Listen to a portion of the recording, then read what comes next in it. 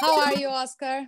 I'm very good. How are you doing? Good. So, my first question is As an actor, uh, how was your process of leaving Steven's atmosphere and diving into Mark's universe? Yeah, well, for me, the, it was really important to figure out who Steven was first, because that's how we're introduced into the whole world. So figuring out this character who's, you know, English and, you know, very introverted, but is desperate to connect with people uh, and is confused about his life and what's going on. He, he has a, a, really dry sense of humor. Uh, and then the counterpoint to that being Mark, who is hiding a lot of things, who's pushing people away, who's also very confident in the world, but it's the, it's the exact opposite. And finding the tension between the two, I thought there was a real opportunity to in some ways lean into the more stereotypical aspects of like the action hero but what makes yeah. it special is that he has this little Englishman living inside of him. And as an executive producer, what was your main vision or main goal in this series? Uh, my main goal was to create a real legitimate character study, uh, like a psychological thriller within the MCU, which I haven't seen yet,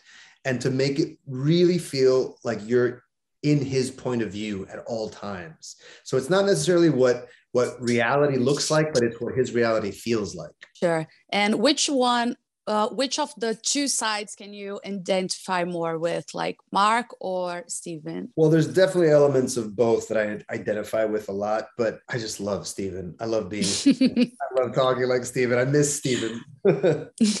Do you have any favorite scene? Yeah, you know, well, there's a few scenes that I really love, but I, there's something about the scene in the diner when he when his date doesn't show up uh, mm-hmm. that I, mm-hmm. I, just, I think it's really moving for me because it's when everything just starts to fall apart for him. And what was the decisive factor for you to accept to do Moon Knight? Um, I think when I felt uh, that it was going to be a real creative collaboration. You know, I felt it from Kevin Feige and I felt it from Mohamed Diab, the director. It felt like it wasn't just going to be like, okay, show up, stand there, do your line, and yeah. do It felt like, no, no, we're going to create this together. And what do you find interesting? How do you want to, like, what kind of character do you want to make? And so it just felt like there was a lot of freedom. Thank you so much, Oscar. Thank you. Thank you.